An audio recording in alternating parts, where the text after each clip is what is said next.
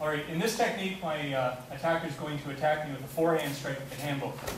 Here, I block his technique at the wrist while simultaneously delivering a strike to his bicep.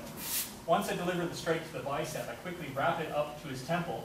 Taking his balance away from him momentarily, I swoop him around to this position where I place my leg in front of him, fall back, deliver a strike to the sternum with my heel, and one to the groin, which makes him forget about his hanbo, which I disarm, hit him in the hip, and finish him off with a strike to the head.